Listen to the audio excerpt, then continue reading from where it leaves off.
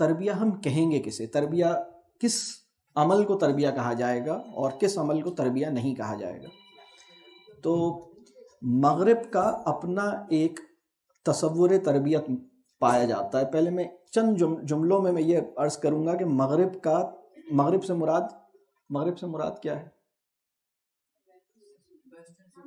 हाँ मगरबी तहजीब। उसका अपना एक तस्वुर तरबियत है। और उस तस्वुर तरबियत के दो तीन पहलू हैं। उसमें से सबसे अहम पहलू है स्किल बिल्डिंग। तरबिया जब यानी जब वो ये बात करते हैं कि हम मेंटरिंग कर रहे हैं या तरबिया कर रहे हैं तो उससे उनकी मुराद ये होती है कि कैरियर के लैडर पर तेज़ी से चढ़ जाने की जो महारतें हैं, जो लियाकतें हैं, वो हम तुम्हारे अंदर पैदा कर रहे हैं। तुम कैरियर लैडर के ऊपर छलांगे लगा के ऊपर चढ़ते चले जाओगे। और ये स्किल बिल्डिंग है। इसी तरह तरबिया मगरब के अंदर जो तरबिया का आ, बहुत अहम मकसूद है वो है प्रोडक्टिविटी को अचीव करना। यानी आप आ, बहुत सारा काम कर सकें बहुत सारा कमा सकें बहुत सारा ख़रीद सकें और बहुत चीज़ें जमा कर लें। ये एक बहुत अहम बात है। इसी तरह मगरब में जो तरबिया, जिस उसूल अच्छा मगर एक और बात, जो तरबिया का, यानी मगरब के अंदर आला अखलाक जिसे हम कहते हैं, आला अखलाक, बड़े अखलाक जिसे हम कहते हैं, वो रवैयों से इबारत हैं बिहेवियर्स से इबारत हैं। और ये रवैये कोई छोटी चीज़ नहीं होती, वो भी बड़ी अहम चीज़ होती है। उसमें हम कहते हैं ये, इस आदमी के रवैये बहुत अच्छे हैं, ये बड़ा ये चाहे वो आ, किसी भी चाहे वो बैंक का मैनेजर हो चाहे वो सेल्समैन हो चाहे वो किसी भी जगह का आदमी हो चाहे वो आ, लेकिन उसके रवैये बड़े अच्छे हैं वो बहुत अच्छे रवैयों का मालिक है। हमारे पैराडाइम में तरबिया किसे कहेंगे? और अगर हमने अपने पैराडाइम में अपने ईमानी तनाजुर में तरबिया का एक वाज तस्वुर डेवलप नहीं किया और हमने तरबिया को डिफ़ाइन नहीं किया अपने ईमानी तनाजुर में तो मसला ये होगा कि हम मगरब का जो वर्ल्ड व्यू है, मगरब के वर्ल्ड व्यू में पैदा होने वाला तस्वुर तरबियत को हम लाशूरी तौर पर उसको फॉलो करेंगे। हम उससे वो मकसद तरबियत भी अखज़ करेंगे, हम उससे मनहज तरबियत भी अखज़ करेंगे और हम लाशूरी तौर पर एक चीज़ लेके चलेंगे। और और इसके साथ जो दूसरी चीज़ है कि इस वक्त हमारे जो तालीमी निज़ाम है, जो इदारे हैं, वो चूँकि मगरब के एक मॉडल को काफ़ी हद तक लेके चलते हैं तो वो उसके साथ बड़ा कंड्यूसिव होता है और वो फिर गाड़ी चल जाती। तो बहुत अहम सवाल ये है कि हमारे तनाजुर में तरबिया कैसे डिफ़ाइन होगी? ये बहुत अहम क्वेश्चन है। मगरब के तनाजुर में जो तरबिया का अमल है, उसमें टेमिंग बहुत अहम है। मतलब अगर मैं ये कहूँ कि वो टेमिंग के उसूल पे होती है, सुधाया जाने, सुधाए जाने के उसूल पे होती है। और उसके अंदर अगर मैं मगरब की थोड़ी सी और मैं इसके अंदर और आगे बात करूँ तो एक लफ्ज़ है जो हमारे यहाँ इस्तेमाल होता है मोटिवेशन मेरा ख्याल है, शायद ही कोई इंसान ऐसा होगा जिसने ये लफ्ज़ बोला ना हो। और अगर बोला नहीं होगा तो सुना तो होगा। मोटिवेशन को हम कैसे देखते हैं, ये बहुत अहम सवाल है। तो मगरब का जो तस्वुर मोटिवेशन है, मैं अगर उसका एक खुलासा एक जुमले में बयान करूँ, वो ये है making your children do what you want them to do या making your team do what you want them to do या जिसको हम अपनी ज़बान में कहें कि बच्चों को या अपनी टीम को हम वो कुछ करवाने में कामयाब हो जाएँ जो हम चाहते हैं कि वो करे। तो अगर आप इस काम में करवाने में आम, यानी उसके, उससे वो काम लेने में कामयाब हो गए हैं जो आप चाहते हैं कि वो करें तो ये बहुत बड़ा आपने तीर मार लिया है। और ये जो मैंने आदाफ और तस्वुरात बयान किए हैं, ये बहुत बड़ी मतलब समझिए कि हमारे, यानी ये मगरब के पैराडाइम में तरबिया, जो उनका तस्वुर तरबिया है, या उनका जो मनहज तरबिया है, या उनका जो कह लीजिए उसलूब तरबिया है, या उनकी जो मेथडोलॉजी ऑफ़ तरबिया है, या उनका जो ऑब्जेक्टिव या गोल ऑफ़ तरबिया है, ये मैंने उसकी कुछ बहुत ही बुनियादी मोटी मोटी कुछ चीज़ें आपकी खिदमत में रखी। अब हम आते हैं अपने ईमानी तनाजुर में कि हमारे ईमानी तनाजुर में तरबिया को कैसे डिफ़ाइन होना चाहिए और तरबिया क्या नहीं है और क्या है, हम हम उसको देखते हैं। देखिए, हमारे ईमानी तनाजुर में सबसे, यानी देखिए, एक अखलाक अखलाक की एक सतह वो है जो रवैये की, के लेवल पर है। और अखलाक की एक और सतह होती है जो हमारी ईमानी तनाजुर में जो मतलूब है और मकसूद है, ये वो रवैया और वो मिजाज है जिसकी जड़ जो है, वो कल्ब की पाकिजगी के अंदर मौजूद है। यानी एक एक एक पाकिज़ा मुताहर कल्ब है, एक प्योरीफाइड हार्ट है। प्योरीफिकेशन ऑफ़ हार्ट जो है, उसके नतीजे में उसकी जड़ें उसके अंदर जाती हैं और हमारी ईमानी तनाजुर में जो तरबिया है अगर मैं उनके तनाजुर में मैंने एक लफ्ज़ इस्तेमाल किया टेमिंग हमारे तनाजुर में जो लफ्ज़ इस्तेमाल होगा, वो है प्योरीफिकेशन उनके तनाजुर में जिसको मैं सुधाना कह रहा हूँ अब अपने तनाजुर में मैं उसे तजकिया कह रहा हूँ। तो मेरे, मैं अपने रवैयों में खूबसूरत हो जाऊँ, ये हमारे ईमानी तनाजुर में तरबिया का मकसूद नहीं है, तरबिया का नतीजा है। मैं अपने बच्चे से वो करवाने में कामयाब हो जाऊँ जो मैं चाहता हूँ कि ये करे। ये तरबिया की जो, यानी अब मोटिवेशन का वो, ये वो पैराडाइम उनका है। अब हमारे पैराडाइम में, हमारे पैराडाइम में इसको हम डिफाइन करेंगे। Creating an urge in them to do the right thing इन दोनों में बहुत फ़र्क है। यानी मेरे बच्चे की जो आरजुएँ हैं जो उसके अंदर तमन्ना है, वो मुबारक हो जाए, उसकी ख्वाहिशात अच्छी हो जाएँ, और जब उसकी ख्वाहिशात अच्छी हो जाएँगी तो ठीक है, वो इन अच्छी चीज़ करेगा, और अगर आपकी ये ख्वाहिश है कि वो अच्छा काम करे तो ये उसकी ख्वाहिश हो जाए कि वो अच्छा काम करे, और उसके नतीजे में अच्छा काम होगा इन लेकिन अब अहम बात यह है, अब अब मैं एक चीज़, अब यहाँ, ये तो थी बहुत उसूली बात। यानी मैंने उसूली बात पहले ये अर्ज़ की कि मगरब का अपना एक तस्वुर तरबिया है। मगरब में जब ये लफ्ज़ मैंटोर यूज़ होता है या ट्रेनिंग यूज़ अच्छा मगरब के अंदर जो ज़्यादा लफ्ज़ उर्दू में जिसे हम तरबिया कहते हैं, उसे मगरब में ज़्यादातर ट्रेनिंग कहते हैं। और हम जब हमारे यहाँ भी उर्दू में जब हम, या हम अपने, चूँकि मुसलमानों का एक बहुत बड़ा, मेरे नज़दीक मुसलमानों की इस वक्त बहुत बुनियादी नफसियाती आर्जे का नाम है मरूबियत। जिसको हम अंग्रेज़ी में कहते हैं ओ जिसको हम कहते हैं, यानी आठ से पचास साल पहले औसम का लफ्ज़ इतना बेदरेग इस्तेमाल नहीं होता था। इसलिए कि आप ओ में चले जाने को इतनी खुशी से बयान नहीं करते थे जितना अब बयान करते हैं। आप कहते हैं औसम। मतलब इस पर इतना मुतमिन नहीं होते थे ना, आप कहते थे ये मतलब सोचते थे इसको, दो दफ़ा सोचते थे। हमारा एक बहुत बड़ा मसला है कि हम मरूबियत का शिकार हैं और मगरब के जो, मगरब का जो पूरा मॉडल है, हम उसको सोचते नहीं हैं और हम ये नहीं सोचते कि हम हम अपने ईमानी तनाजुर में अपने मामला को डिफ़ाइन करें, उसके मनहज को देखें, उसके उसलूब को देखें, उसकी मेथडोलॉजी को रिव्यू करें, उसके मकासद को देखें और फिर हम अपना एक कोर्स ऑफ़ एक्शन सोचें कि हमें क्या करना है और उसके अंदर इन चीज़ों को कैसे सॉल्व करना है। लेकिन जब हम सोचते नहीं हैं तो कोई तो सोचेगा। तो जिसने सोचा हुआ है, वो हम उससे सॉल्यूशंस ले लेंगे। तो हमने बहुत ब्लाइंडली बहुत सारे ऐसे सॉल्यूशंस कबूल कर लिए, जो हमारे पैराडाइम में बहुत ही मुजिर थे और हमारे पैराडाइम में किसी तौर पर हमारे कलमे से मैच नहीं करते थे। यानी मुसलमानों ने बहुत बड़ी तादाद में उन सॉल्यूशंस को बाय किया है जो उनके अपने कलमे से कंपैटिबल नहीं हैं। और यही मामला हमने तरबिया में किया है। अब मैं इसकी थोड़ी सी डिटेल और जाता हूँ मैं यानी अब एक बात मैंने ये कही कि भाई उससे अपनी मर्ज़ी का काम करवा लेना उसकी स्किल डेवलप कर देना और उसको टेम कर देना और उसको आ, कह लीजिए बस वो वो करे जो आप चाहते हैं कि वो करे। ये तरबिया नहीं है। ये मगरब के तनाजुर में तरबिया हो सकती है जिसे वो ट्रेनिंग कहते हैं। हमारे तनाजुर में ये तर, तरबिया नहीं है।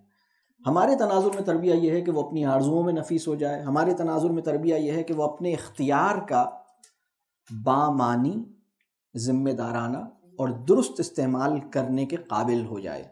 यानी अपनी जो एबिलिटी टू चूज़ है जो रब करीम ने उसे अता की है एबिलिटी टू चूज़ को रिस्पॉन्सिबली मीनिंगफुली और उसका एक करेक्ट राइट कह लीजिए उसका, उसकी यूटिलाइजेशन हो, सही, यानी वो अपने इख्तियार का सही इस्तेमाल करे। और वो उस काम को खुद से करना चाहे तो अब जो मैं पहला वाला पैराडाइम में ये बात अर्ज़ कर रहा हूँ, इसको ज़रा सा आप समझिएगा। अगर मैं अपने, अब मैं इसकी एग्जाम्पल्स पे जाता हूँ, ये दो पैराडाइम्स मैंने बात की, यानी दो कह लीजिए पूरे, यानी उसमें एक अलग एक एक मगरब का तस्वुर तरबिया है, एक हमारा तस्वुर तरबिया है। इसकी अभी तो मैंने सिर्फ़ उसूली बात की, अब ज़रा सी इसकी मिसालों पे चले जाते हैं। मैं अपने बच्चे से, मैं चाहता हूँ कि बच्चा नमाज़ पढ़े, और मैं अपने बच्चे से नमाज़ पढ़वाने में कामयाब हो जाता हूँ, और मैं किसी भी तरह से उसको नमाज़ पढ़वा लेता हूँ। तो आप नमाज़ पढ़वाने में कामयाब हुए हैं, तरबिया करने में नाकाम हुए हैं, ये मैं आपसे अर्ज़ कर रहा हूँ। ये बड़ी अजीब बात है। आप किसी भी तरह से उसको कुरान पढ़वा लेते हैं। आप कहते हैं, यार, ये कुरान पढ़ो। आपने इसके लिए या तो लालच, या खौफ, या डंडा, या टॉफ़ी, या केक, या चॉकलेट, कुछ भी ले आए आप कैरेट और स्टिक ले आए आप और आपने कुरान पढ़ा लिया। आप कैरेट और स्टिक ले आए और उससे आपने नमाज़ पढ़वा ली। तो आप ये काम करवाने में कामयाब हुए हैं। आप तरबिया करने में नाकाम हुए तरबिया ये है कि वो अपने इख्तियार का बामानी इस्तेमाल करे उसकी आ, उसकी अपनी ख्वाहिश हो उसकी अपनी अर्ज़ हो ये यानी ये काम उसकी ख्वाहिश बन जाए। ये ये है असल काम। ये काम होने से रह जाता है। हम बाकी सारे काम कर चुके होते हैं ये काम होने से रह जाता है। तो अगर मैं ये कहूँ कि बल्कि इसमें थोड़ी सी और बात भी मैं और अर्ज़ कर दूँ। मैं अक्सर हमारा मगरब का जो तस्वुर नफ्सियात है और हमारे ईमानी तनाजुर में जो इल्मनफ्स है, इसके अंदर ज़मीन आसमान का फ़र्क है। बहुत बड़ा फ़र्क है। खैर, ये अभी आज का मौजू नहीं है, लेकिन ये पूरा एक बड़ा मौजू है। लेकिन मैं उसके हवाले से एक बात की अर्ज़ करूँ कि हमारे ईमानी तनाजुर में सिर्फ़ दो मामला ऐसे हैं जिसमें हम बच्चे पे सख्ती करने के मुकल्लफ़ हैं या सख्ती करने की हमें इजाज़त है। उसमें से एक मामला ये है कि अगर बच्चा नमाज़ ना पढ़े और वो दस बरस का हो गया तो हम उस पर सख्ती कर सकते हैं। बल्कि एक मामला नमाज़ है और दूसरा मामला यह है कि अगर आपका बच्चा कोई अपनी ज़बान से या अपने हाथ से कोई ऐसी बदतमीज़ी कर रहा है जो अपने भाई या अपने बहन या किसी और के साथ एक गलत कोई, यानी मार रहा है किसी को, पकड़ रहा है, कोई जबान से कोई गलत तो आप उसको बहरहाल उधर रोकेंगे। आप कहेंगे, भाई, तुम छोटे बच्चे की पिटाई लगा रहे हो, क्या कर रहे हो? कुछ भी, यानी बैट हवा में लहरा रहा है और किसी के लग गया तो आप उसे पकड़ेंगे, आप रोकेंगे। लेकिन आप यहाँ पर उसे कंट्रोल करेंगे, आप यहाँ पर अपनी कुत इस्तेमाल करेंगे। आपके बाजुओं में जो ताकत है, आप उसको इस्तेमाल करने की ज़रूरत अगर महसूस होती है तो इस सिचुएशन में करेंगे। बदतमीज़ी को रोकने के लिए और नमाज़ को, यानी नमाज़ अगर छोड़ रहा है तो उसके ऊपर, उस उस पर लाने के लिए। ये दो, इसके अलावा कोई और सिचुएशन नहीं है जिसमें आपको सख्ती की इजाज़त हो। ये एक बहुत अहम, नाजुक बात है। दूसरी बात, आप ये समझ लें कि दस साल से पहले आपको नमाज़ के मामले में भी सख्ती की इजाज़त नहीं यानी अगर दस साल से पहले आप नमाज़ के मामले में सख्ती करते हैं तो आप जवाबदेह हैं अल्लाह के हजूर। इसलिए कि रसूल सल्लल्लाहु अलैहि ने आपको ये बात बताई थी कि आप दस साल से पहले नहीं कर सकते। तीसरी बात यह कि सख्ती की कोई ऐसी सूरत आपके लिए जायज़ नहीं है जिससे उसकी इज़्ज़त नफ्स मजरू हो जाए। क्योंकि ताबीर हदीस का एक असूल यह है कि एक हदीस का फ़हम दूसरी हदीस के फ़हम को कैंसिल आउट नहीं कर सकता। यानी रसूल वसल्लम ने बहुत बुनियादी बात हमें, यानी दीन के हवाले से बताई कि मुसलमान वो है जिसकी ज़बान और हाथ से दूसरे मुसलमान की इज़्ज़त नफ्स महफूज रहे। और इसका इंतज़ाम इस दर्जे पे किया कि कैदियों के साथ सलूक के मामले में भी कुछ ऐसी शराइ और कुछ ऐसे तकाजे वाज तौर पर बताए गए कि उनकी इज़्ज़त नफ्स भी तुम मजरू नहीं कर सकते। तो ये तो आपका छोटा सा लख्त जिगर है। इसको आप नमाज़ के मामले में सख्ती, यानी नमाज़ के मामले में आप सख्ती कर सकते हैं, लेकिन उसकी कोई ऐसी शक्ल इख्तियार नहीं करेंगे कि उसकी उसकी इज़्ज़त नफ्स मजरू हो जाए और उसका जो अपना तस्वुर ज़ात है वो मजरू हो जाए, वो अपने आप को यानी ये ये बहुत नाजुक इस, इसके लिए बड़ी हमत चाहिए। यानी ऐसी सख्ती करने के लिए हमत चाहिए। ऐसी सख्ती इन तकाज़ों को निभाने के लिए इल्म चाहिए हिकमत चाहिए। अच्छा अब इसके तो अब तक मैंने जो बात की कि नमाज़ और ये जो मैंने मामला बयान किया कि इसमें आप सख्ती कर सकते हैं बदतमीज़ी के हवाले से। अब इसी के हवाले से मैं दूसरी बात अर्ज़ करूँगा।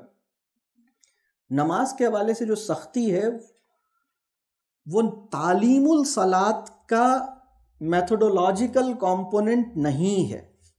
यानी इस कायनात में कोई एक नमाजी भी आप दिखाइए जो सख्ती की वजह से नमाजी बनाओ बात मेरी समझ आ रही है?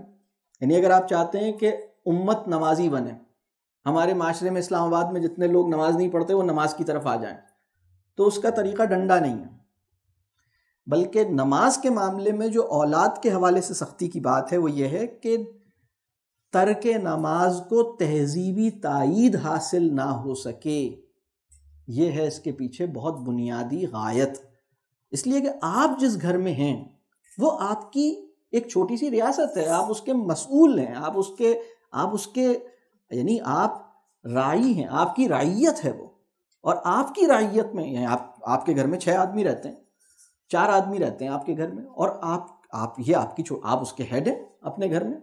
आपके घर में जो छह लोग रहते हैं, उनमें अगर दो बच्चे जिनकी बहरहाल दस साल से बड़े हो गए नमाज़ नहीं पढ़ते तो इस अमल को आइडियल मुस्लिम सोसाइटी क्या करती है कि फ़राइज से गफलत को फौरी तौर पर उसका एक रिस्पॉन्स देती है। यानी आइडियल इस्लामिक सिविलाइजेशन या आइडियल इस्लामी तहजीब की एक ज़िम्मेदारी ये होती है, मिसाल के तौर पर, एक मजहबी माशरे या एक इस्लामी तहजीब या इस्लामी माशरे का एक वसफ़ ये है कि वो अगर कोई इंसान वालदेन से या बुज़ुर्गों से बदतमीज़ी कर रहा है तो फौरी तौर पर उसको एक रिस्पॉन्स देगी, वो कहेगी, ये इसकी इजाज़त नहीं है। यानी किसी भी गलत मामले को किसी भी हवाले से तहजीबी तौर पर उसको इंडोर्स नहीं करेगी, उसको रिकग्नाइज नहीं करेगी, उसको एक रिएक्शन देगी। तो ये वो काम है कि तर्क नमाज़ आसान ना हो, तर्क नमाज़ के, तर्क नमाज़ को एक तहजीबी रद्दमल उस पर मिले और उसके अंदर कुछ एहतियातें हैं, जिसका अहतमाम करना है। लेकिन अब सवाल ये है कि बच्चा नमाज़ की तरफ़ कैसे आए, या बच्चा कुरान की तरफ़ कैसे आए, या बच्चा किसी भी अच्छे अमल की तरफ़ कैसे आए, या उसकी तरबिया कैसे हो, इसकी, इसका मनहज क्या होगा? इसके लिए बुनियादी ज़रूरत क्या होगी? बहुत सारे लोगों ने वो जो बुनियादी काम है, उसके हवाले से उनका फहम बहुत कमज़ोर या बहुत ही सरसरी है। उसमें जो बहुत अहम बात है वो ये है। अब जो अब जो बात समझने की है, जहाँ फिर दोबारा मगरब का तस्वुर नफ्स और हमारा तस्वुर नफ्स, यानी मगरब का जो तस्वूर नफ्सियात है और हमारा जो तस्वुर नफ्स है, इन दोनों में बहुत बड़ा फ़र्क है। वो ये है कि मगरब का तस्वुर नफ्स, नफ्सियात ये है कि बच्चा जो है वो बुनियादी तौर पर अपनी नेचर के अतबार से अपनी नेचर के अतबार से, जिसे हम फितरत कहते हैं, उसमें टेढ़ है, उसमें गड़बड़ है। वो गुनाह के नतीजे में दुनिया में आया है, उसके अंदर शर का मादा, खैर के मादे पे गालिब है अगर उसे छोड़ दिया जाए तो वो लाजमी गलत काम ही करेगा। और उसकी उसकी तो नेचर ही ईवल है। ये वो ओरिजिनल सिन का पूरा एक तस्वुर है, जो मगरब के पूरे डिस्कोर्स में, जो मॉडर्न वेस्टर्न साइकोलॉजी का पूरा डिसिप्लिन है, उसके अंदर ये बात घोल दी गई है। मतलब ये और हमारे जितने भी टीचिंग मेथडोलॉजी है, हम वहाँ से मुस्तार लेते हैं। हम अपने ईमानी तनाजुर में उसको नहीं डेवलप कर पाते, ये हमारा एक बड़ा मसला है। हमारे ईमानी तनाजुर में जो फितरत है बच्चे की, वो बड़ी नफीस है। हर इंसान अल्लाह का बड़ा एहसान है कि इंसान को अल्लाह ने बुनियादी तौर पर, पैदाइशी तौर पर मुसलमान बनाया है और हर इंसान जो है, उसके अंदर तमीज़ खैर शर मौजूद है, लेकिन उसके अंदर उसकी फितरत जो है, वो बहुत अच्छी है। मतलब आप किसी बच्चे को उससे ज़्यादा नेक नहीं बना सकते जितना वो पहले से होता है। बच्चा पहले से अच्छा खासा नेक होता है। अच्छा यानी पहली बात तो ये कि हर बच्चा नेक होता है पैदाइशी तौर पर और बहुत ज़बरदस्त नेक होता है। हम हज करते हैं। तो जो मकबूल हज है, हज कितनी बड़ी इबादत है। तो वो हज जो अल्लाह की बारगाह में कबूल हो जाए, इखलास नियत के साथ हम हज करें और अल्लाह उसे कबूल फरमा ले तो उसका जो सबसे बड़ा इनाम है वो क्या है? कि आपका वही स्टेटस आपको मिल जाता है जो कि पैदाइशी अभी न्यू बॉर्न का जो स्टेटस है, आप वैसे ही हो जाते हैं। आपने सुना ये? अच्छा अगर हमें इस बात का पता ही नहीं होगा कि न्यू बॉर्न को मुझ पर क्या फजीलत हासिल है तो मैं इस स्टेटस को ना इंजॉय कर सकूँगा, ना इस बात, इस प्रिविलेज को ना ना महसूस मतलब मैं कहूँगा कि या अल्लाह, मैंने आपकी खातिर इतनी मुशक्क़त के साथ इतना पैसा खर्च करके, इतना वक्त लगा के हज किया है और आप कह रहे हैं इसका रिज़ल्ट ये है कि मैं अभी न्यू बॉर्न बेबी की तरह हो गया तो ये तो मतलब ये क्या बात हुई? ये बात ये हुई कि हमारे सारे पीछे की चीज़ें माफ़ हो गई, आप बिल्कुल क्लियर हो गए अब आप, अल्हम्दुलिल्लाह। तो ये वो मौका, ये वो बात है जो बच्चे, बच्चा इस सतह पर होता है। और अगर हम बच्चे की जो ओरिजिनल नेकी है, जो ओरिजिनल पाकिजगी है, जो ओरिजिनल खूबसूरती है, उसको सराहने की काबिलियत अपने अंदर पैदा करें, उस पर ट्रस्ट करें और उसकी, उसके साथ अपना एक रिलेशनशिप बनाएँ तो इस बच्चे की जो जो तरबिया है वो उस सूरत में होगी। यानी अब मैं इसकी, अब मैं कुछ प्रैक्टिकल चीज़ें और एक नेक्स्ट लेवल पे आता हूँ। हम चाहते हैं कि हमारा बच्चा कुरान की तरफ़ आए या हमारा बच्चा कोई अच्छे काम करे। तो तरबिया ये है कि उसकी ख्वाहिशात अच्छी हों, उसके दिल की आरजुएँ अच्छी हों, उसकी डिज़ायर्स अच्छी हों। वो मेरी मेरे खौफ की वजह से या मेरे लालच की वजह से ये काम नहीं करे। मतलब ये बहुत आसान काम है कि मैं कहूँ, भाई, हर नमाज़ पे पाँच सौ रुपये मिलेंगे। पूरे दिन नमाजें पढ़ोगे तो पाँच सौ रुपये हिफ्स कर लोगे तो तुम्हें ये दूँगा, साइकिल दिला दूँगा। फजर की नमाज़ पढ़ोगे तो साइकिलें बांटूँगा। इस किस्म की हरकतों से बच्चों का ईमान ख़राब होता है। इस किस्म की कामों से बच्चे उस चीज़ से करीब आते हैं, उस अमल की अजमत उनको नहीं समझ आती। देखिए, एक बहुत अहम बात मैं आपको बताऊँ। मैं तीन ऑब्जेक्टिव्स अगर आपको बताऊँ तीन एजुकेशनल ऑब्जेक्टिव्स मैं एक एग्ज़ाम्पल के तौर पर शेयर करूँगा और आप इसमें सोचिएगा ये मामला क्या है। एक, अगर मैं ये कहूँ कि एक एजुकेशनल ऑब्जेक्टिव है, सूरह बकरा हिफ्स करानी है बच्चों को। एक ऑब्जेक्टिव ये एक ऑब्जेक्टिव ये है कि नमाज़ के मसाइल का इल्म बच्चों को देना है। इन नमाज़ के मसाइल की एक प्रॉपर अंडरस्टैंडिंग हो कि नमाज़ के क्या मामला होते हैं। और तीसरा एजुकेशनल ऑब्जेक्टिव ये है, यानी तीन डिफरेंट सिचुएशंस हैं, तीन एजुकेशनल ऑब्जेक्टिव्स हैं। तीसरा ऑब्जेक्टिव ये है कि अपनी नीयतों की निगहबानी करनी है। तीन ऑब्जेक्टिव्स हो गए। एक ऑब्जेक्टिव है, पहला क्या है? सूरह बकरा मेमोराइज करनी है। दूसरा ऑब्जेक्टिव है, नमाज़ के मसाइल को की अंडरस्टैंडिंग तीसरा ऑब्जेक्टिव है, अपनी नियतों की मुसलसल निगहबानी आपके ख्याल में, इसमें से कौन सा ऑब्जेक्टिव इजीली अचीवेबल है? पहला वाला और दूसरा वाला। और सबसे मुश्किल वाला कौन सा है? वो तीसरा वाला। तो ये जो तरबिया का जो कोर है, वो तीसरे ऑब्जेक्टिव के अंदर है। तरबिया का जो कोर है, यानी खुदा का इंसान मतलूब वो नहीं है जो बहुत स्किल्ड है या जिसकी नॉलेज बहुत है, बल्कि खुदा का इंसान मतलूब बुनियादी तौर पे वो है जो अपने ऊपर नज़र रखता है, अपने अमल को इवेलुएट करता है, अपनी नीयतों की निगहबानी करता है, अपनी आरजुओं को टटोलता रहता है। और वो इस बात से गाफिल नहीं होता कि मेरे दिल में जो तमन्ना है, ये मतलब वो अपने अपने दिल में पैदा होने वाली तमन्ना को रिव्यू करता है और वो इस बात पर अल्लाह के से माफ़ी माँगता है कि मेरे दिल में ये बात आई कैसे। अपने ऊपर निगाह रखता है। इस सतह पर हम अपने बच्चों की तरबिया इस दर्जे पे कैसे करें? अब ये एक सवाल है। इसके काबिल बनने के लिए अब अब जो बात समझने की ज़रूरत है वो ये है कि बच्चा ओरिजिनली इसी सतह पर होता है। और मैं कभी कभी ये, मैं, मुझसे बहुत सारे लोग चूँकि इस हवाले से डिस्कशंस होते हैं तो बाज़ात मुझसे टीचर्स और बहुत से तरबिया के जो प्रोग्राम्स और बहुत सारे इदारों में लोग कहते हैं कि, सर, हम बच्चों को राज़ी कैसे करें ये इतनी चीज़ें, कि हम उनको ये देना चाहते हैं, वो तो लेते नहीं हैं तो हम कोई गिफ्ट देते हैं, हम कोई और चीज़ करते हैं।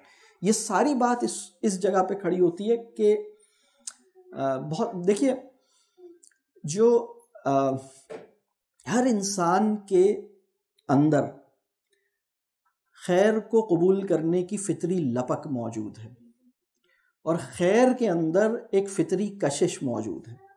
यानी हर इंसान के अंदर अच्छी बात को एक्सेप्ट करने का एक पोटेंशियल मौजूद है और हर इंसान के अंदर यानी वो खुद उसकी तरफ़ जाता है लेकिन होता क्या है कि ये जो उसकी फितरत है ना, ये डिस्टॉर्ड हो जाती है बाज़ मामला से। उसमें जो सबसे अहम मामला है वो ये है कि हम अपने बच्चों की, जब हम अपने बच्चों की इंसल्ट करते हैं, ह्यूमिलिएट करते हैं, उनको कंट्रोल करते हैं, या उनके साथ हम बुरा सलूक करते हैं तो ये मामला ख़राब होता है। लेकिन अगर हम उस, उन बच्चों की रिस्पेक्ट करें और हम बच्चों को एक अच्छी रिलेशनशिप बनाएँ तो ये मामला ठीक होता है। हमारी इस काम के लिए हमें जो सबसे बुनियादी चीज़ जिसको हमें करने की ज़रूरत है, वो ये है कि हम बच्चों से ताल्लुक़ अच्छा बनाएँ। तो रिश्ते में होना एक अलग बात है और ताल्लुक़ का गहरा होना एक अलग बात है। रिश्ते में मियाँ और बीवी हैं, लेकिन ताल्लुक़ टूटा हुआ है। रिश्ते में माँ और बेटा है माँ बेटी का ताल्लुक़ टूटा हुआ है। तो ये ताल्लुक़ अच्छा होने का मतलब ये है कि वो आपसे अपना मसला बयान कर सके, आपसे मशवरा ले सके, आपके साथ वक्त गुजारना चाहे, आपको अपनी बात बताना चाहे, आपसे आसानी से सवाल कर सके। यानी अगर वो ये तीन चार काम कर रहा है तो उसका मतलब है आपका ताल्लुक़ है। यानी आपसे अपना मसला शेयर करता है, आपसे मशवरा लेता है, आपको अपनी बात बताता है, आपके साथ टाइम गुजारना चाहता है, आपसे शेयरिंग करना चाहता है, आपसे, आपको सुनना चाहता है अगर आपका अपने बच्चे से इस लेवल पर रिलेशनशिप है तो आप, ये पहली नॉन निगोशिएबल कह लीजिए कंडीशन है तरबिया की। यानी ताल्लुक़ जो है, वो तरबिया की नॉन निगोशिएबल प्री रेक्विजिट है। ये बिल्कुल आप समझ लीजिए कि ताल्लुक़ के बगैर आप कंटेंट उंडेलेंगे, तरबिया नहीं करेंगे।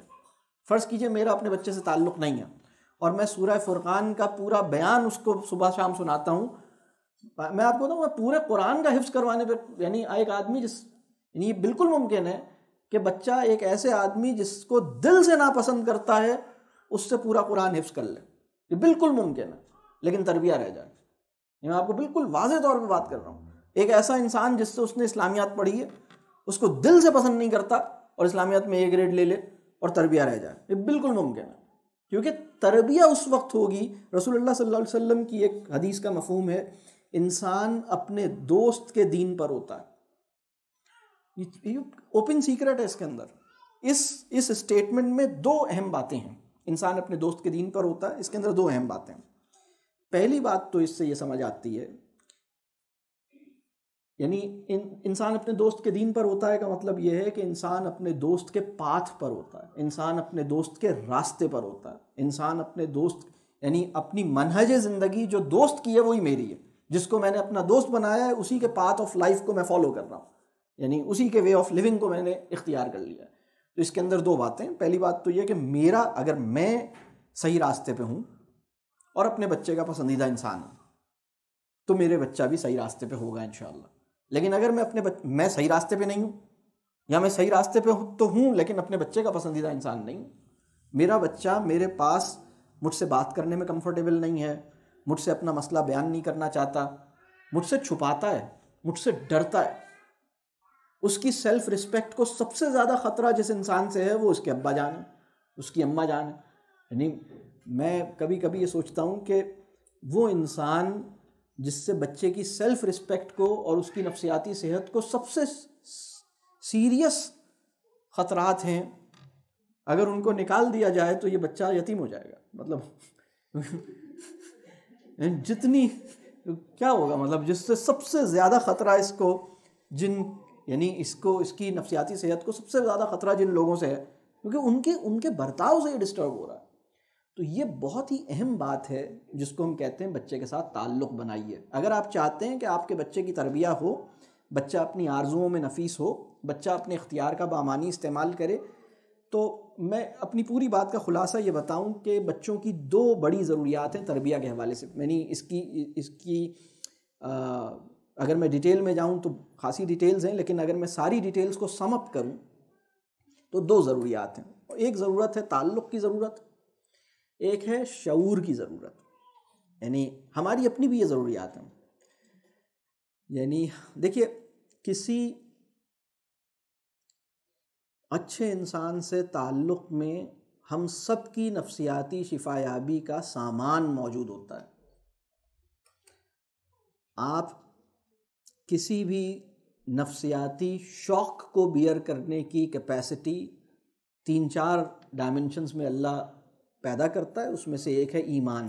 तीन चीज़ें ऐसी हैं जिनमें नफसियाती शिफायाबी का भरपूर सामान है। और ये तीनों चीज़ें मगरब के यहाँ साइकोलॉजिकल एलिमेंट के क्योर के तौर पर यूज़ नहीं होती, क्योंकि उनके वर्ल्ड व्यू में ये है नहीं। लेकिन मैं जो आपसे कह रहा हूँ, आप इसको ज़रा सा गौर करेंगे तो आप इन आपको अंदर से वजूदी शहादत आपको अंदर से लगेगा कि हाँ ये तो ऐसे ही है। पहली चीज़ है ईमान। ईमान में शिफा है। ईमान जो है वो नफसियाती, हमारी नफसियाती इस्तात को डेवलप करता है। ईमान जो है हमें नफसियाती तौर पर सेहत अता करता है। हमारी नफसियाती अगर कोई हमारे अंदर साइकोलॉजिकल ट्रॉमा या कोई सिकनेस है तो वो उससे हमें रिकवर करता है। बल्कि साइकोलॉजिकल डिसऑर्डर या या किसी भी किस्म का एलिमेंट उसके अंदर कहीं ना कहीं ईमान के हवाले से कहीं ज़ोफ़, कोई कमज़ोरी, कोई मसला कहीं ना कहीं कारफरमा होता है। ये बड़ी अजीब बात है। दूसरा जो बड़ा, बड़ी चीज़ है, वो है इल्म नाफ़े। इल्म नाफ़े में शिफा होती है। कुरान जो है उसको शिफा कहा गया। कुरान पूरा का पूरा इल्म नाफ़े है। हर इल्म नाफे के अंदर हमारे पर्सपेक्टिव की करेक्शन होती है। हमें चीज़ें समझ में आने लगती हैं। चीज़ों को उस तरह देखना समझ आ, यानी हम उस तरह देखना शुरू करते हैं जैसे कि देखना चाहिए। तो यानी मिसाल के तौर पर आपको इल्म नाफे मिला तो आपको समझ आया कि अच्छा ये जो अभी सिचुएशन हुई है मेरे साथ, या किसी ने मेरे साथ ज़्यादती की है तो इस ज़्यादती को मुझे ऐसे नहीं देखना बल्कि ऐसे देखना है। तो आप जब, आपको इल्म नाफे मिलता है तो माफ़ करना आसान हो जाता है। आप कहते हैं कि भाई ठीक है, उसने मेरे साथ ज़्यादती की, कोई बात नहीं, मैंने माफ़ किया, चलो कोई बात नहीं। क्योंकि मैं जब माफ़ कर दूँगा तो मुझे तो यहाँ आपको इल्म है कि इस माफ़ी का इतना बड़ा अजर है तो आप उसे माफ़ कर देते हैं। और आपका ईमान और आपका इल्म आपको माफ़ करने के काबिल बना देता है। आप नफसियाती तौर पर दोबारा रिस्टोर कर जाते हैं। अपनी, आपका जो थ्रेश होल्ड है, वो आप, यानी एकदम आप रिकवर कर जाते हैं। आप बहुत अच्छी स्टेट पर आ जाते हैं। तीसरी चीज़ जिसमें शिफा है, वो है किसी भी अच्छे इंसान के साथ, किसी भी अच्छे इंसान जिसके अंदर यानी कुछ भी अच्छाई मौजूद है तो अच्छे इंसान के साथ जो इखलास वाला ताल्लुक़ है, उसमें शिफा होती है। उसमें नफसियाती तौर पर शिफा होती है। आप बहुत अल्लाह, यानी ये एक बहुत बड़ी नफसियाती और आसाबी कुमक है जो अल्लाह ताला अता फरमाता है। यानी यानी अम्बिया सलाम, जिनको अल्लाह की क़ुव्वत अल्लाह की कुदरत, अल्लाह की मौजूदगी, अल्लाह की पुश्तबानी का पूरा यकीन और शूर था, उनकी ये दुआ है कि या अल्लाह मुझे एक ऐसा भाई दे जो मेरा माविन हो जाए, कोई कह रहा है, मुझे घर में कोई ऐसा मेरा माविन कर दीजिए, मुझे ऐसे माविन, वो वो अपने हवारियों को पुकार रहे हैं, कौन मेरी मदद करेगा इस मामले में? ये सारी बातें आपको नज़र आती हैं, ये बड़ी अहम बात है।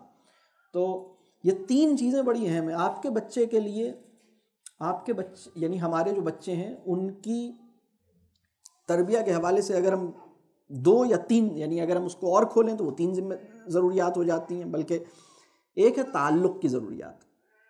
एक है शूर की ज़रूरियात। और जब ये दोनों पूरी होती हैं तो ईमान ईमान वाले इंसान से ताल्लुक़ के नतीजे में ईमान भी साथ साथ डेवलप होता है तो ये ये उसकी बड़ी ज़रूरियात हैं। अच्छा इसमें जो सबसे बुनियादी है, वो ताल्लुक़ की ज़रूरत है। आपके साथ वो कंफर्टेबल हो। आपकी पोजीशन में वो है, आपकी प्रेजेंस में वो हैरेस्ट फील ना करे। आपके साथ आसानी से अपनी बात कर सके। अच्छा इसका मतलब ये नहीं है कि उससे ताल्लुक़ बेहतर करने के लिए उसको उसकी हर बात मानी जाए। मैं ये बिल्कुल नहीं कह रहा। मैं तो ये कह रहा हूँ कि उस और ये काम उस वक्त होगा ताल्लुक़ उस वक्त बेहतर होगा जब हम उसकी रिस्पेक्ट करेंगे उस पर अतमाद करेंगे उसके साथ अपनी मोहब्बत का इजहार करेंगे उसे गले लगाएँगे उसे प्यार देंगे उसको आ, आ, उसकी जो है वो आ, आ, उसकी बात सुनेंगे। उसको समझने की कोशिश करेंगे तो ये काम होगा इन अगर ये काम नहीं हुआ तो तरबिया नहीं हो सकती। यानी ये तो हो सकता है कि आप पूरा कुरान हिफ्स करवा दें। ये भी हो सकता है, आपका ताल्लुक़ नहीं है, आपने उसको नमाज़ भी पढ़वा दी। आपका ताल्लुक़ नहीं है, आपने उसको जो काम करवाना चाहते हैं, आपने वो करवा दिया। आपने बेहतरीन तजवीज़ सिखा दी। ताल्लुक़ नहीं था आपका। स्किल डेवलप होगी खाली। देखें, एक बात और समझ लीजिए कि कुरान हिफ्स करवा देना तरबिया नहीं है। मैं ये नहीं कह रहा कि कुरान हिफ्स करवाना कोई काम नहीं है। कुरान हिफ्स कराना बहुत बड़ा काम है। और कुरान हिफ्स करवाना एक बहुत बड़े एजाज़ की बात है, बहुत बड़ी सादत की बात है, लेकिन तरबिया का कोर नहीं है ये। और अगर ये तरबिया का कोर होता तो वो वाला हिफ्स प्रोग्राम जो 23 इयर्स पे मुश्तमिल था और रसूल अल्लाह सल्लल्लाहु अलैहि वसल्लम खुद उसे लीड कर रहे थे तो उसमें तो सारे साहबा को हाफिज हो जा, हो जाना चाहिए था। यानी अगर अभी कोई अनाउंसमेंट हो कि भाई मुफ्ती तकी उस्मानी साहब अपनी निगरानी में खुद या कोई बहुत बड़े आलिम, वो एक प्रोग्राम रन करेंगे और वो ट्वेंटी थ्री ईयर्स तक चलेगा तो मेरे ख्याल सारे ही लोग इनरोल कर लेंगे। मेरी बात समझ आ रही है? रसूलुल्लाह सल्लल्लाहु अलैहि वसल्लम का जब इंतकाल हुआ तो तमाम साहबा हाफिज़ नहीं थे, बहुत ही कम साहबा हाफिज़ थे, पूरे कुरान के हाफिज़। लेकिन जो सबसे अहम बात है कि अपनी आरजुओं में, अपनी तमन्नाओं में बेहतरीन, यानी उन सब के दिल जो हैं, वो इतने पाकिज़ा थे तजकिया कामिल उनका हुआ था, एक बेहतरीन उनके दिल के अंदर जो आरजुएँ थीं, यानी दीन जो था, वो उनकी, उनके मरगूबात नफ्स जो हैं, उनकी इंक्लिनेशन ऑफ़ सेल्फ जो हैं, वो बहुत ज़्यादा प्योर थी और ये वो चीज़ है जिसके ऊपर काम करने की ज़रूरत है। और अगर हम ये काम नहीं कर, करेंगे तो हम बहुत नुकसान करेंगे। मैं आपको बताऊँ, बड़ा, बहुत नुकसान करेंगे अगर हमने ये काम नहीं किया। तो हमें ताल्लुक़ अपना गहरा करना है। ताल्लुक़ गहरा कैसे होगा? अपने ऊपर काम किए बगैर आप किसी इंसान के साथ जिस भी ताल्लुक की सतह पर हैं, इससे ऊपर नहीं आ सकते। कारोबारी ताल्लुक तो बेहतर हो सकता है अपने आप से, अपने ऊपर काम किए बगैर। आपने सोचा एक फला क्लाइंट है। बॉस के साथ और क्लाइंट के साथ अपने ताल्लुक को अपने ऊपर काम किए बगैर आप बेहतर कर सकते हैं। लेकिन वो इंसान जो आपके घर में रहते हैं, उनसे ताल्लुक सिर्फ़ उसी वक्त बेहतर होगा जब आप अपने ऊपर देखना शुरू करेंगे, आप अपने ऊपर निगाह रखना शुरू करेंगे, अपनी इंट्रोस्पेक्शन शुरू करेंगे, अपना जायज़ा लेना शुरू करेंगे, अपने दिल के अंदर, अपने जहन के अंदर उसको टटोलना शुरू करेंगे। और जो जिसे हम तज़किया कह रहे हैं, तज़किया क्या है?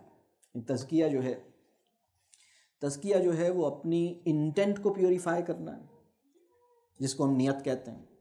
तज़किया जो है वो अपनी आरजुओं को प्योरीफाई करना है, जिसको हम डिज़ायर्स कहते हैं या विशेस कहते हैं या वांट्स कहते हैं।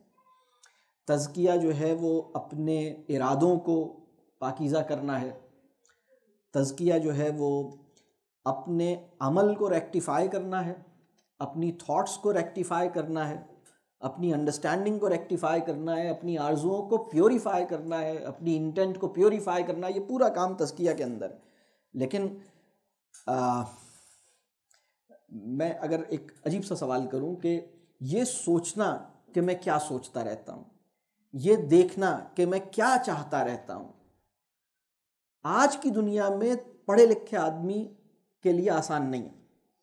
वो सोचता बहुत है लेकिन ये नहीं सोचता कि वो सोचता क्या है और वो ये भी नहीं सोचता कि वो सोचता कैसे है।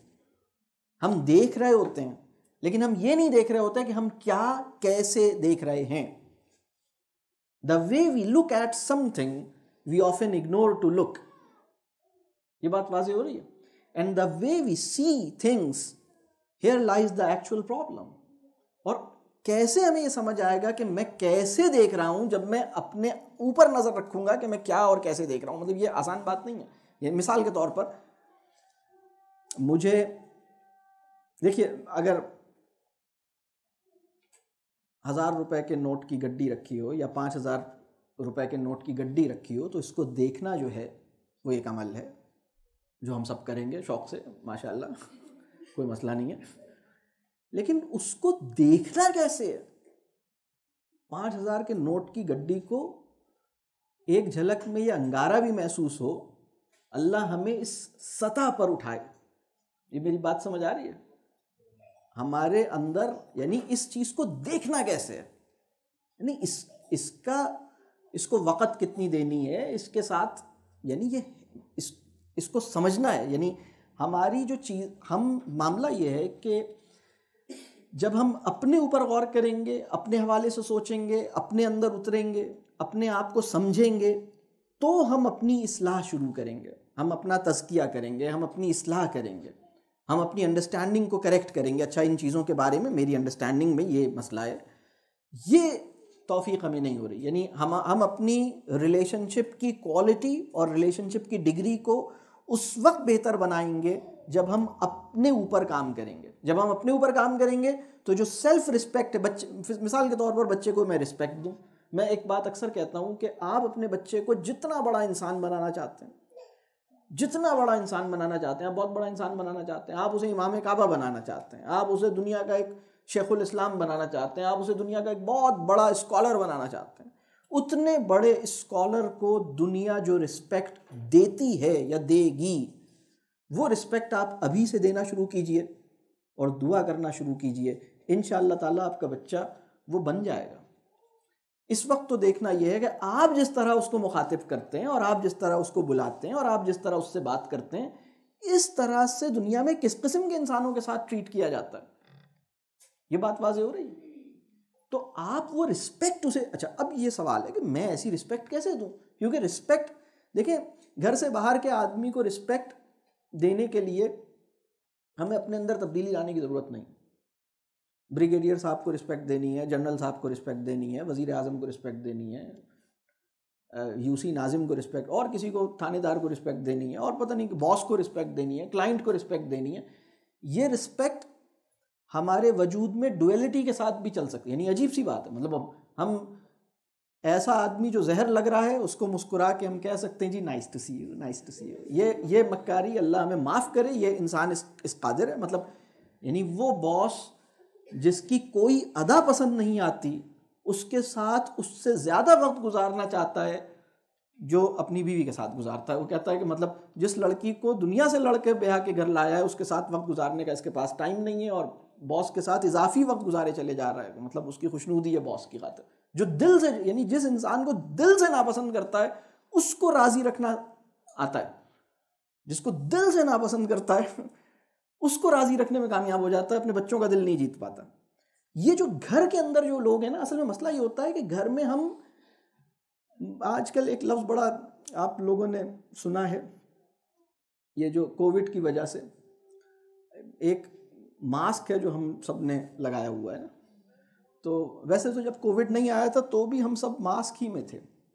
हम अपने असल चेहरे के साथ तो सिर्फ़ घर के अंदर ही होते हैं। घर से बाहर हम एक मास्क ही होता है हमारा। यानी हम एक दूसरे के मास्क से मुलाकात करते हैं। बल्कि मास्क भी मैं अक्सर कहता हूँ कि मास्क का लफ्ज़ उर्दू में राइज हो गया, हालाँकि इसके लिए नकाब का लफ्ज़ बड़ा, ये उर्दू में से नकाब कहते हैं आपको। अगर मैं कहूँ ये नकाब, लोग कहेंगे, नकाब क्या है? नकाब? तो ये जो अपने घर के अंदर असल में हम कितनी देर एक्टिंग करेंगे ना, बच्चे के साथ कितनी देर, बीवी के साथ कितनी देर एक्टिंग करेंगे? थोड़ी देर के बाद तो हम वो हो जाएँगे जो हम कर ही नहीं सकते ना एक्टिंग मुमकिन ही नहीं है वो तो हम, वो होंगे जो हम होते हैं, हमारा डिफ़ॉल्ट पे होंगे ना डिफ़ॉल्ट सेटिंग तो उस लेवल पे तकरीम करने के लिए, इंसानों की तकरीम की लियाकत अपने अंदर काम करने से पैदा होती है। नहीं तो एक मसनू तकरीम, एक स्ट्रैटेजिक रिस्पेक्ट एक वो तकरीम जो मफाद की बुनियाद पर है, वो तो आप मतलब कर सकते हैं, उसका तो कोई मसला नहीं है। लेकिन घर में ये काम नहीं कर सकते तो उसके लिए अपने अंदर काम करना पड़ेगा। तो अपने अंदर काम करने के लिए अपने ऊपर काम करेंगे तो ये मसला हल होगा। अपने ऊपर काम नहीं करेंगे तो ये मसला हल नहीं होगा।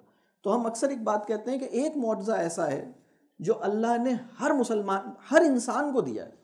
वो अजीब सा मुआवजा है। वो मुआवजा ये है कि आप अपने अंदर काम, अपने ऊपर काम कीजिए और आस पास के लोगों में तब्दीली का मुशाह कीजिए। आप देखेंगे काम मैं अपने ऊपर कर रहा हूँ मेहरबान मैं बीवी को पा रहा हूँ। काम अपने ऊपर कर रहा हूँ। अब्बा जान मुझसे खुश हो रहे हैं। मैं अपने ऊपर काम कर रहा हूँ। अम्मा जान दुआएँ दे रही हैं। अपने ऊपर एक लड़की काम कर रही है, उसका शोहर उसके ऊपर मेहरबान हो रहा है। यानी काम अपने ऊपर करते हैं और तब्दीली आसपास देखते हैं। ये अजीब मेराकल है जो अल्लाह ने इंसान को अता किया है। ये एक अजीब मुआवजा है। अपने ऊपर, अपने अंदर काम करने के लिए हम हम तैयार नहीं हो रहे। हमारा मसला ये है कि हम दुनिया को ठीक करना चाहते हैं। सारी उम्मत को ठीक करना चाहते हैं और ये बड़ा शदीद मसला है कि बल्कि मैं तो ये अक्सर कहता हूँ कि अगर उम्मत की असलाह की फ़िक्र अपनी असलाह के जज्बे पे गालिब आ जाए तो माशरे में फसाद पैदा होता है। यानी अगर उम्मत की असलाह की फ़िक्र अपनी असलाह के जज्बे पे गालिब आ जाए तो माशरे में फसाद पैदा होता है, जो इस वक्त हम देखते हैं। मतलब हमें अपने अपनी फ़िक्र में डूब जाने वाला पैंडमिक इस वक्त उम्मत मुस्लिमा को दरकार है। और जब हम अपने ऊपर काम करेंगे हमारे अपनी औलाद से रिलेशनशिप अच्छा हो जाएगा। हम आ, तो ये स्टार्टिंग पॉइंट ये है। और रिलेशनशिप अच्छा करने की जो सबसे अहम बात है कि आप उसे रिस्पेक्ट दें उसकी तकरीम करें। और मैं ये नहीं कह रहा कि आप और इसकी चूँकि बहुत डिटेल्स हैं मैं अभी उसमें नहीं जा सकूँगा। लेकिन मैं ये नहीं कह रहा कि आप उसकी तारीफ़ करें। बड़ी हमत चाहिए।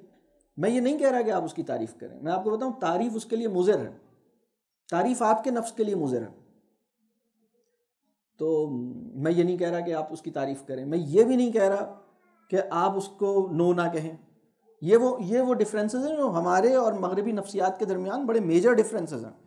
वेस्ट की जो साइकोलॉजी है, वो ये कहती है कि बच्चे को नो ना कहो। बच्चे को प्रेस कहो।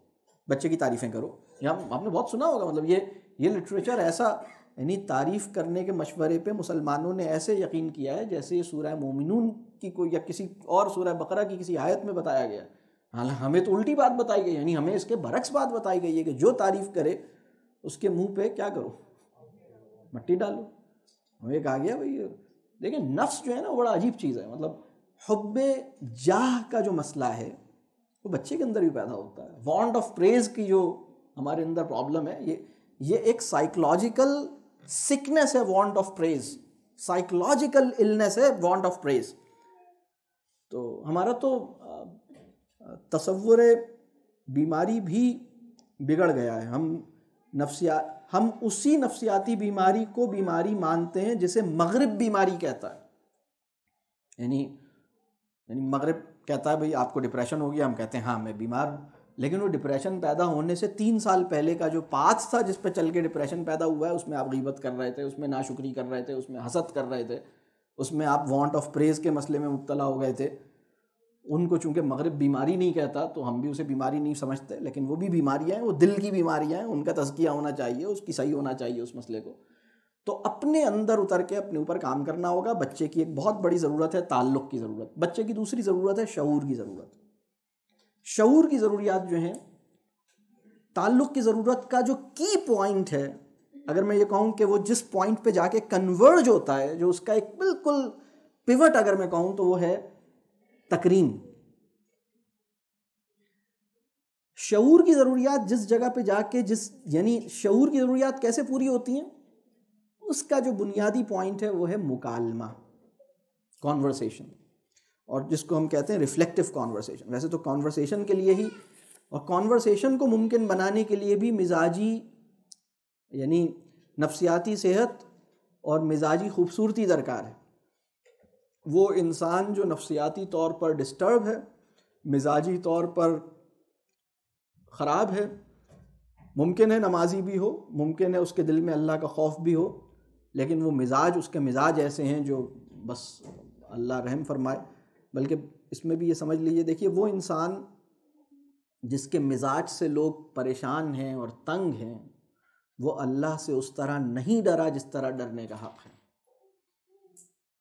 चाहे वो तहजद भी पढ़ता हो, चाहे वो सारा साल नफली रोज़े रखता हो, अगर उसके मिजाज से उसकी बीवी परेशान है या उसकी माँ परेशान है या उसका भाई या उसकी बहन या उसका बच्चा परेशान है तो ये अल्लाह से उस तरह नहीं डरा जिस तरह डरने का हक़ है। और मिजाज की खूबसूरती का मतलब ये है कि आपकी प्रेजेंस में ये लोग ख़ुद को मुकर्रम महसूस करें। आपकी प्रेजेंस में ये कंफर्टेबल महसूस करें। आपकी प्रेजेंस में ये खौफजदा ना हो। आपकी प्रेजेंस में ये सहूलत से अपनी बात कह सकें। आपकी प्रेजेंस इनको, यानी बड़ा ही एक साइकोलॉजिकली सेफ़ एटमॉस्फेयर हो। ये अपनी बात कह सकें, या आपके साथ बात कर सकें। तो ये मुकालमे की फ़िज़ा पैदा करनी होगी। तरबिया जो है देखिए जिसे हम अहादीस कहते हैं। अहादीस के उनवान, हम जानते हैं ना इल्म दीन का बहुत बड़ा ज़ख़ीरा, कुरान के बाद। अहादीस है, बहुत बड़ा ज़ख़ीरा है। तो उस कीमती ज़ख़ीरे को जिसे हम हदीस के उनवान से वाकिफ़ हैं, वो क्या है? अपनी बनावट में जब आप उसकी देखते हैं, उसको एनालाइज करते हैं, आपको पता लगता है ये मुकालमात की दास्तान है। ये दबिस्तान मुकालमात हैं। मतलब एक बहुत, ये सारी कॉन्वर्सेशन हैं। एक आदमी आता है, सवाल, एक साहबी आते हैं, सवाल पूछते हैं रसूल वसल्लम बात बताते हैं। ये सारी, ये वन लाइनर्स हैं, या मलफूजात हैं, ये बयान, ये ये लंबे सरमन्स नहीं हैं। आपको लंबे तवील खुतबात गिनती के मिलेंगे आपको। और जो लंबे खुतबात मिलेंगे, वो दो चार यानी वो भी घंटों के नहीं हैं, वो बहुत थोड़े से हैं। यानी छोटे छोटे वन लाइनर्स तो ये क्या है? ये मुकालमा है। हमने मुकालमा करना छोड़ दिया। हमने अपनी बात कहने को उसके सवाल सुनने से ज़्यादा ज़रूरी समझ लिया। हमने जवाब देने की जल्दी सवाल सुनने से ज़्यादा मतलब जवाब देने की बेकरारी सवाल सुनने के तहमुल पे गालिब आ चुकी है। अपनी बात कहने की ज़रूरत, उसके सवाल सुनने की ज़रूरत पे हावी आ चुकी है। मुकालमा मर रहा है। हमारे माशरे का एक बहुत बड़ा मसला यह है कि मुकालमा मर रहा है और धौंस दंदन आ रही है। एक बामानी मुकालमे का आहया एक बहुत बड़ी ज़रूरत है। आपका बच्चा आपसे सवाल कर सके, आप बच्चे से, और इससे उसकी शूर की ज़रूरियात पूरी होती हैं। बल्कि मैं अगर ये कहूँ कि आप अपने बच्चे की ज़िंदगी में जो सबसे ज़्यादा तालीमी काम कर सकते हैं वो हैं बातें। हम बातें करने की तालीमी जो एजुकेशनल वैल्यू है उसको रियलाइज़ नहीं कर पाए। एक बच्चा जो आपसे बातें कर रहा है, सवाल कर रहा है, आप कहते हैं, बातें करते रहोगे या कुछ पढ़ोगे भी? और फिर हम उसे बिठा के एफ़ बनवाते हैं लाइन के अंदर लाइन के ऊपर। उसका ओ गोल करवाते हैं, उसका पी सीधा करवाते हैं एस उसका, उसको। ये जो हम काम करवाते हैं, ये हम उसका जो नेचुरल एजुकेशनल प्रोग्राम है उसको डिस्टॉर्ट करते हैं, हम उसे करने दें। वो एक बामानी चीज़ कर रहा है, वो कह रहा है तितली इस कलर की क्यों होती है? और ये मुख्तलिफ़ चीज़ें, वो जो सवाल कर रहा है सवाल अपनी जगह अहम है।